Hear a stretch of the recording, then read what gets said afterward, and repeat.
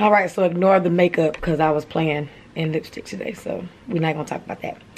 But um, we are. I am getting ready to go ahead and do both bookshelves, and so I went to. I have gone and scoured the planet of TJ Maxx, Ross, and Burlington.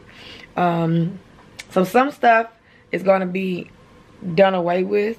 Some stuff is gonna be added, and then. Um, hopefully I can finish the whole look by the end of, well, like, this will be finished. But, like, this whole section, even, like, this bookshelf is getting redone. This was not originally here. But I got tired of seeing, look over here. I got tired of seeing that. Um, so then I was like, well, I'm gonna have to do something about that too. And I bought this dresser off of um Facebook Marketplace. It's like 20 bucks. And I'm gonna paint it. And it needs sliders. And it just needs, it's a DIY project, which is why I purchased it.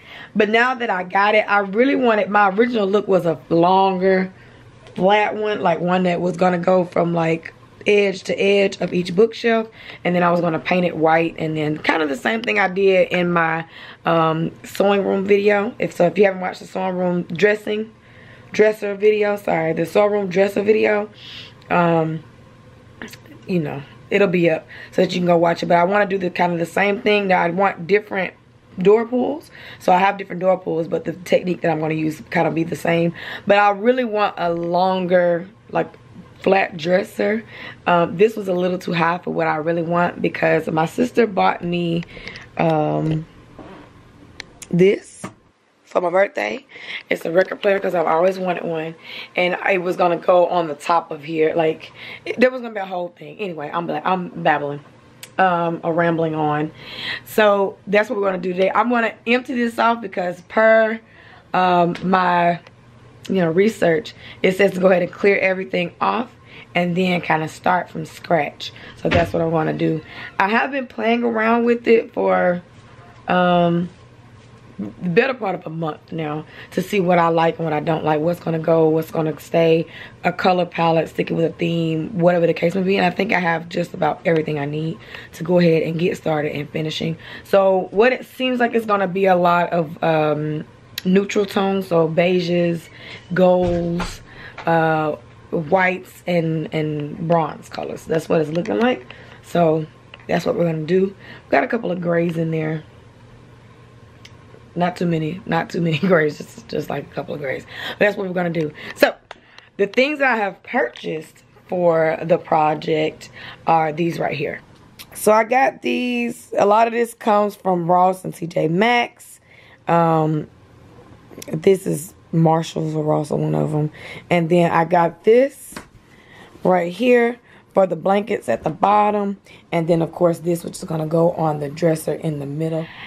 I may or may not be finished so i'll be able to see like what else needs to be added if anything needs to be added when i'm finished and then i'm kind of going to go from there. So we shall begin now so as i said before we're kind of started from scratch that was kind of the what was recommended to me through youtube so i went ahead and cleaned off everything and then wiped down the uh, bookshelves with some with a damp cloth just because I haven't dusted in a while. Uh, some stuff that I got came from the thrift store, TJ Maxx, Ross. When you're doing this, I say go in for it. I bought a lot more stuff that I needed and then just took back what I didn't or just put it somewhere else in the house. Once the bookshelves are empty, you're kind of starting with like a fresh slate.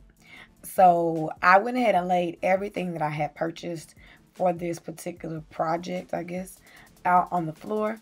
I kind of already knew what was going to stay what was going to um, be either given away or repurposed somewhere else. Um, so it kind of made it easier. I do have some blankets, and I didn't really have blankets before now, but we have some blankets that I wanted to go ahead and store away. So I bought a little storage for that.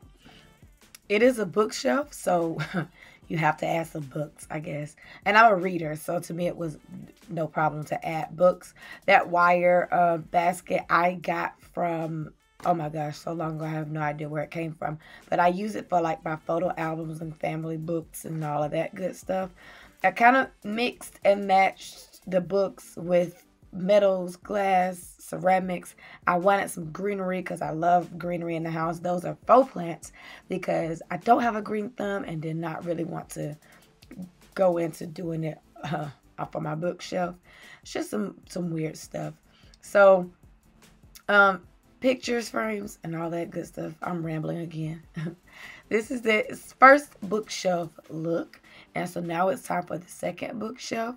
I purchased these off of Amazon specifically for this project. I needed some that were going to be cute and I'm into owls. I love owls. So that's the reason why I chose these. My favorite author, Karen Rose, who is a romance thriller author. Her books go there. These were just a mix of textures and same kind of color palette but different textures. I love them to death. And then they're high-low. So it, it's very pleasing to the eye, I guess. Um, and then from there, just a mix of pictures um, and textures, really textures and color. If you notice, there are not too many colors. I was trying to throw in like some um, colors that had to do with my living room colors, but it just didn't work. So I decided not to even even bother. I kept with the neutrals, whites, and some grays, and then yeah, that's what I did. One thing I will say that if you have young children, which I don't, Langston is seven now, so there's no reason for me to do this. But one thing I've noticed is you have to be able to secure these bookshelves to the wall if you're going with this, especially if you have young kids. Langston, I don't need, he's seven, he knows not to pull on stuff, but a younger child, say a two or three year old, may not. So go ahead and get that together. This middle piece is going to be changing soon because, again, I'm going to DIY this dresser, so there's really no need to even explain it. But I still wanted it to look cohesive in this space, so I did something. Um, so this is kind of the final look on the second bookshelf and the middle con the middle piece. I did not get a picture of the other bookshelf, and I'm done filming now, so I wasn't going to do it. So you get a whole view of it all. Period. So that is kind of the final look. Thank you guys for watching this week. I'll see you next week. Don't forget to like, comment, and subscribe.